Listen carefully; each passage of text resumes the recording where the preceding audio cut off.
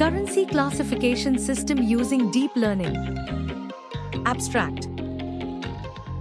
In recent years, deep learning has become the most popular research direction.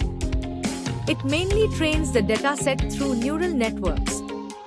There are many different models that can be used in this research project. Document in document we can provide this contents, abstract, introduction, literature survey, system analysis, requirement analysis, system design, implementation and results, system study and testing, conclusion, future enhancement or future scope, references. PPT We can provide abstract introduction literature survey existing method disadvantages proposed method proposed block diagram simulation block diagram and results. Advantages application software and hardware requirements conclusion future scope and references.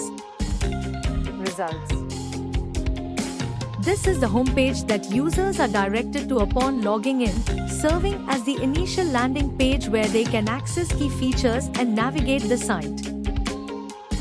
The About page contains detailed information about the project, including the methodologies and technologies used.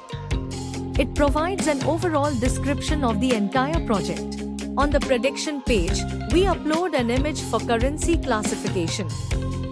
Based on the input image, the system will predict the currency type. Here model classify the image is Thailand baht.